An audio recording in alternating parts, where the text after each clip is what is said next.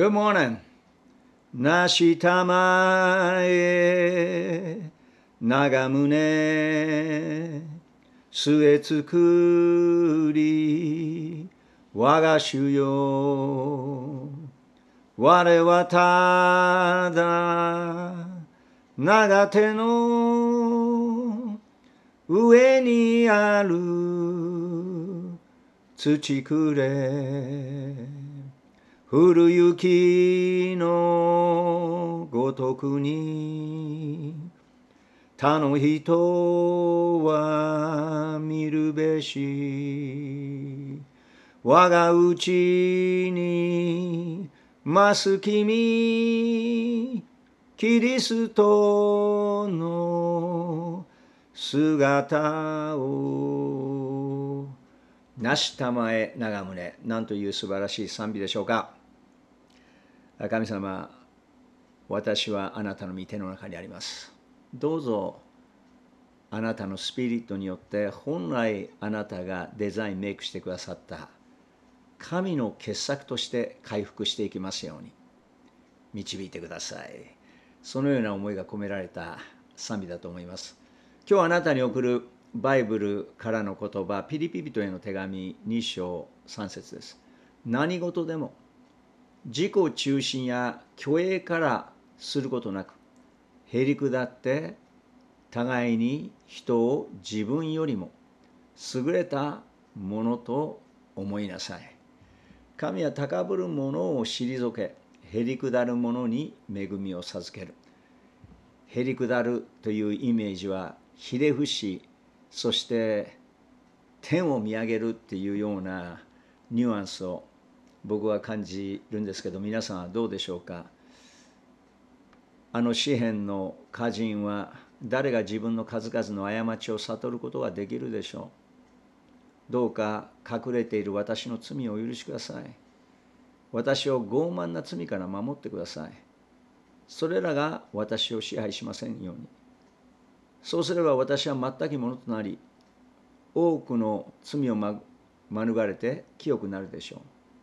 どうか私の口の言葉と思いが見舞いに受け入れられますように。我が家は我ががない主主よと支援の歌人は歌ってますけどやはりへりくだるものっていうのは自分は罪深い人間だ傲慢なところがある。自分が分かってない罪をもう宿らせているんだ。ですから裁くな裁かれないためだっていう言葉がありますけど自分が人に測る測りでお前も測られてしまうよとジーザスは語っていましたけど私たちは発展途上のアンダーダコンストラクションコンストラクションです。工事中です。ですから私自身が変えられながら人々に変えてくださっているジーザスのことを証ししていくわけですよね。ですから自分も罪深い人間で弱さがある。そのことを対峙しながらそんな私にジーザスは十字架にかかって死によみがえってくださって寄り添ってくださっている。故に私もこの福音を携えて人に寄り添っていく。自分が上から目線でマウントを取るんじゃなくて神はマウントを取る方じゃありません。寄り添ってくださってそして私たちの心の内にこの汚れた心に生きてくださる方です。そのことを心に留めながら御言葉また主に自分の弱さを認めながらこの方の御言葉を握りしめながら精霊の力を求めながら歩んでいくなら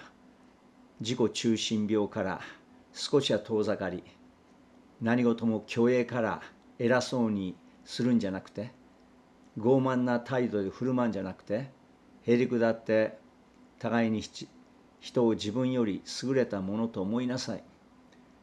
へりくだる者に恵みが注がれるという精霊の宮座が起こるわけですよね。ぜひ今日、庭でへりくだった方がジーザスだとあります。このジーザスが私たちに庭であること、へりくだることの大切さを今日一日体験させてくださると思います。素直にそれを体験し、そして主が一緒にいてくださることを喜び、